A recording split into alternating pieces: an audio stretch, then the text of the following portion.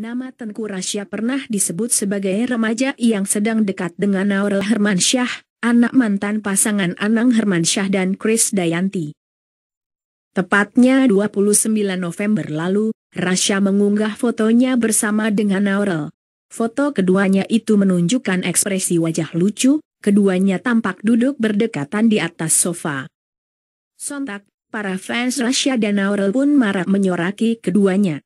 Sebanyak 20 ribu tanda suka dibubuhkan di foto itu.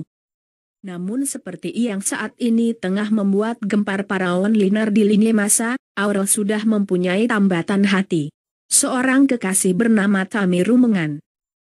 Tetapi rupanya para penggemar malah semakin memberikan suara setuju jika Aurel dan Rasya menjalin hubungan yang lebih jauh dari sekadar teman.